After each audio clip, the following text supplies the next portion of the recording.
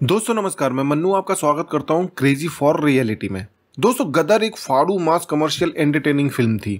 इस फ़िल्म को याद करने की तमाम वजह हो सकती हैं, लेकिन गदर का नाम आते ही एक सीन ज़रूर जहन में आता है, और वो है तारा सिंह, यानी कि सनी देओल का हैंडपम्प उखाड़ना।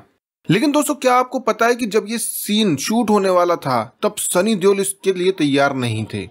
और तो और क्रू में भी कई लोग ऐसे थे जो नहीं चाहते थे कि तारा सिंह हैंडपम्प उखाड़े। वजह थी इस सीन का इलॉजिकल होना। सनी देओल नहीं चाहते थे कि फ़िल्म में कोई भी ऐसा सीन हो जो इलॉजिकल हो और ऑडियंस को फनी लगे और इस सीन की वजह से पूरी फ़िल्म को ट्रोल किया जाए, मज़ाक बनाया जाए। पर डायरेक्टर ने जैसे तैसे रिक्वेस्ट करके सनी देओल को मना लिया था। डायरेक्टर का कहना था कि ऑडियंस के इमोशन का कोई लॉजिक नहीं होता। गुस्से में आदमी कुछ भी कर देता है। एक आदमी सौ लोगों को अकेला मार सकता है। खैर दोस्तों, उस सीन की सिचुएशन भी कुछ ऐसी थी कि तारा सिंह अशरफ अली की सारी बातें मान लेता है, पाकिस्तान जिंदाबाद से लेकर इस्लाम कबूल करने तक।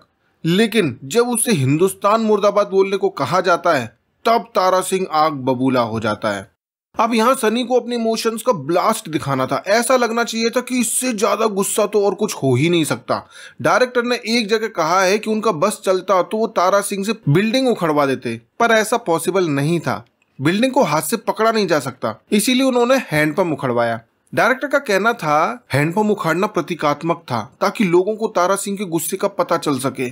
जब हनुमान जी संजीवनी बूटी ढूँढने गए, उन्हें नहीं मिली तो वो पूरा पर्वत उखाड़ लाए, सिर्फ़ इमोशन की वजह से। तारा सिंह हनुमान जी तो नहीं है, पर हैंडपम्प तो उखाड़ ही सकता है। खैर दोस्तों, सनी देओल ने इस फ़िल्म में ज़बरदस्त काम किया और फ़िल्म को ज़बरदस्त रिस्पांस मिला और ऑडियंस ने भी इमोशंस में इस हैंडपंप वाले सीन को पसंद किया। आप इस बारे में क्या सोचते हैं? अगर ये सीन फ़िल्म में नहीं होता तो कैसा लगता? अपनी राय कमेंट बॉक्स में ज़रूर लिखिए और वीडियो पसंद आया हो तो लाइक कीजिए, शेयर कीजिए और देखते रहिए क्रेजी फॉर रियलिटी